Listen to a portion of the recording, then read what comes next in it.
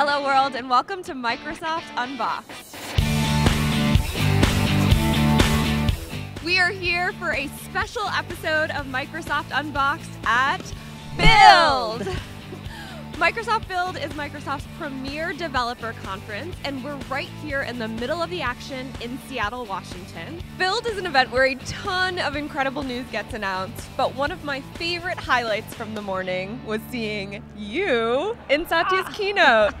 Ah, thank you. I was asked to be part of Satya's keynote and deliver a demo about meeting transcriptions. Everywhere. So, what was it like to prepare for that demo? Like, they planned for this a couple of months in advance, and so they develop um, a lineup of what demos will be in it. You have to audition almost to make sure you're in Satya's keynote, and then you start refining, and the script changes every five seconds. But ours is really unique where we needed to have a very soundproof setup because ours was talking about live transcription and translation using the microphones just built into your laptops and smartphones. They actually built a green box for us, like this room on the show floor. So it was soundproof, and so we could kind of like lock ourselves in to make the best environment to do the demo. Uh, this morning we had call time at like 6.30 in the morning. And mentally have to prepare yourself as much as physically. Instead, I was reading like Reddit and BuzzFeed and trying to just think of funny, funny jokes. Chill out. Come, yeah, just zone out. And I remember thinking in my head while the demo was going on, like,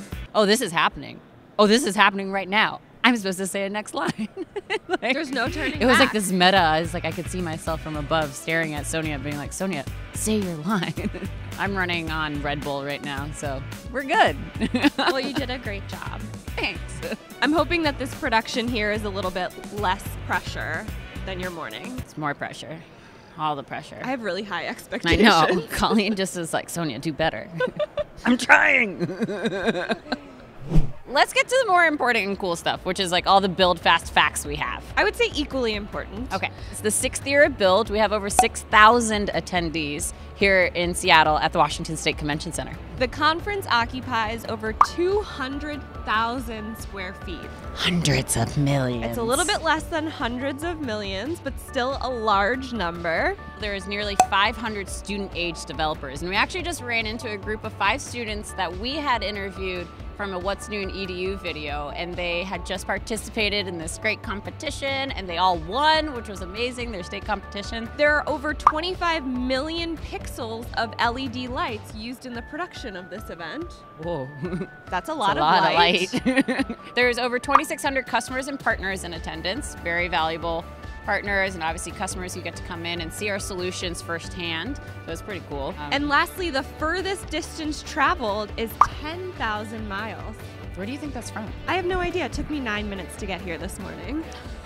Yeah, it took me 12. 12 whole minutes to get here.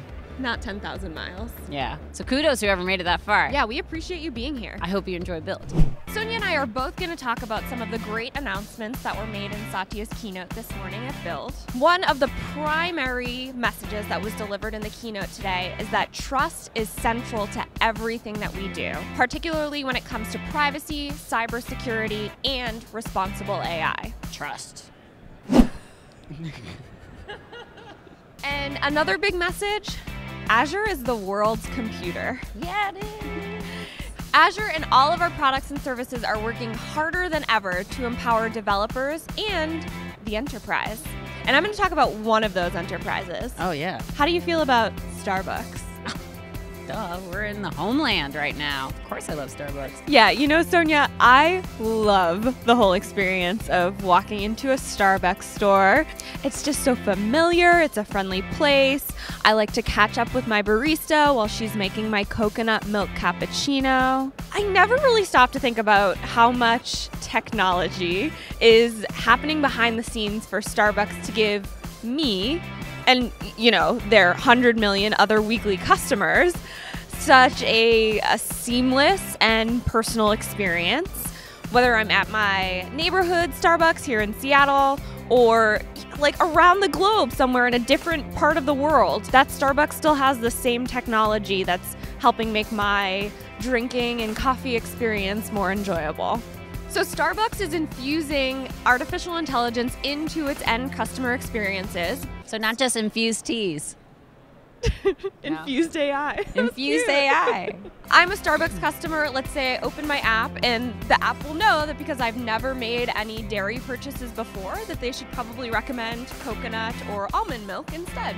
Azure Sphere is also getting built into the Starbucks espresso machines, so it's getting easier than ever to program these machines to make new beverages. And speaking of the beans that Starbucks is using in these delicious beverages, we're bringing blockchain to beans. Blockchain. So you can use the app, the Starbucks app, take a photo like, of the bag of beans, and it'll give you the entire history of where your beans came from. Customers can check out the impact that they're having on farmers' local economies and even the environmental economy.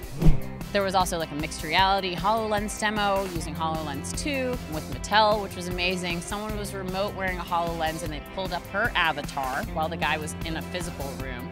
They could collaborate on all the content that they have in their own team's channel, then in this mixed reality space. Work on it together, pull in someone on their PC so they could be just in on teams on video, looking in, able to manipulate the data. Then they had a fourth guy come in who On had his his phone. on his Android phone. That was so up, cool. and he was able to manipulate the 3D models in it. It was super, super cool. We're gonna go check out some of the stuff on the show floor. I hear there's some cars and puppies as well, so we're gonna go Cars and and check puppies, it out now. let's go.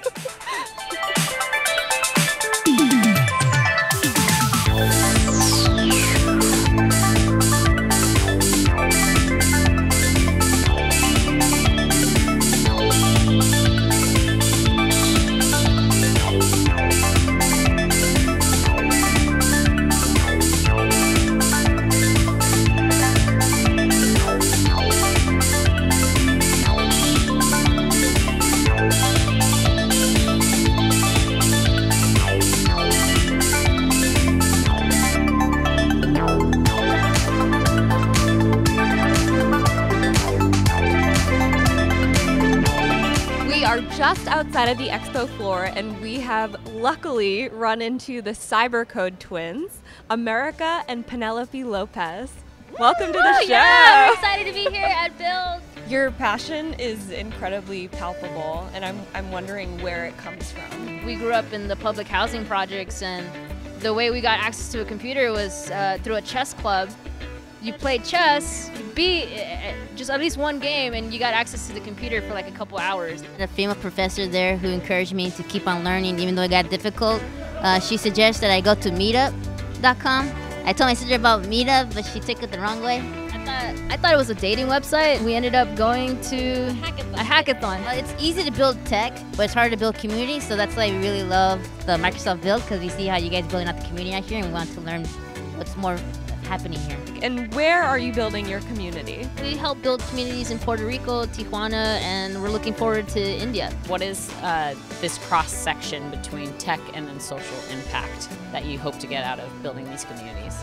To me, s- uh, sustainability, water rights, climate change, a, a lot of the students already feel the need to address these challenges like right now at the age of 14. I would like to call them the AI generation because they're, they're the ones that are going to be pushing for a lot of these breakthroughs. You know, the AI revolution is coming, but we like to say who's coming for AI, and it's going to be Gen AI. Yeah. Thank you both for the work that you're doing. I am so full of energy right now. Yeah. Thank you. Thank you for this wonderful event. This is awesome. Is it Biddle Biddle? Yeah, this is awesome.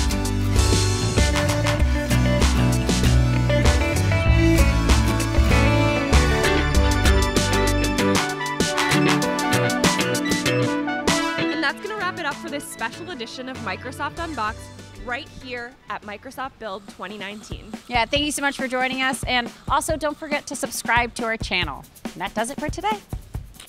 Bye. Bye.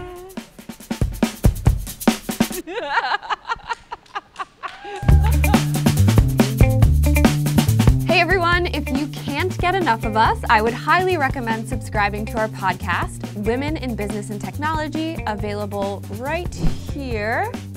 And you can follow us on Twitter and Instagram at our social handles right here.